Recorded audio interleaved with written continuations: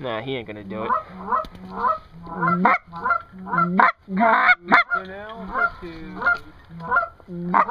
Got your video on? Yep.